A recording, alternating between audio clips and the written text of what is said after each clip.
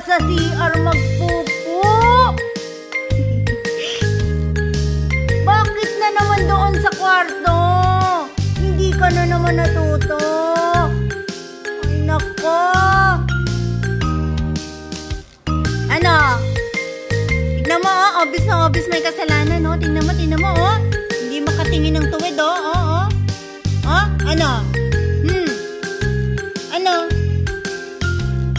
Gagalitin mo ako? Ay, ay, ay, nanginginig pa kumari. Oo, oo, oo, oo. Ano po? Ano? Sinabi na sa'yo, doon ka sa CR pupunte. Bakit doon sa room nagpupo? Bakit? Ha? Tinatamad ka lumabas? Tinatamad ka lumabas? Na whole day ka na nga nandun sa room eh. Pa sa kama. Taragis na to.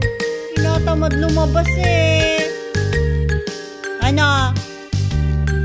Latang may kasalanan. Tingnan mo, hindi makatingin oh.